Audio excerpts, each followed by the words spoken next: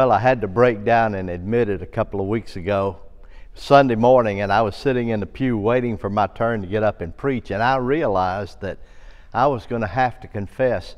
I couldn't see to glance down at my notes anymore. I'd been struggling a little bit with my right contact lens, that's my up close lens, for some time, but that was the time I realized I was going to have to slip out during the service and get hold of these reading glasses if I was going to be able to get anything accomplished that day. It was really frustrating. Luckily, I had an appointment with the optometrist coming up in about a week, and she took care of things and made me capable of seeing again, and now I'm back to where I should be. But you know, it got me thinking the other day.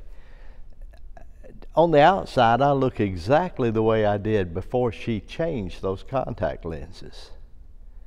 But on the inside, I can see the world and the words in front of me a whole lot more clearly.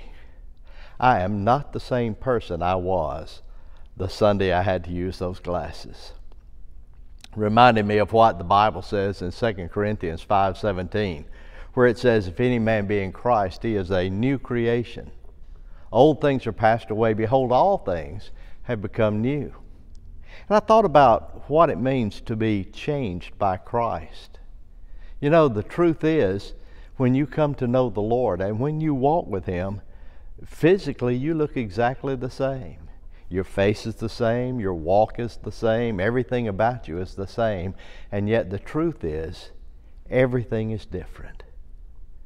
Different from the inside out. The challenge that we have is to make sure that we constantly find ourselves in Christ, trusting Him, depending upon Him, placing every circumstance in His hands, and knowing He is sufficient for whatever may come our way.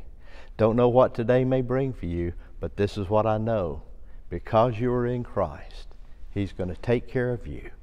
You can depend on Him. Let's pray. Father, today we just give the day to you. We don't know what may come and we're not sure where to turn, but you know it all. So, Lord, today help us to trust you as new creations from the inside out. We pray in Christ's name. Amen.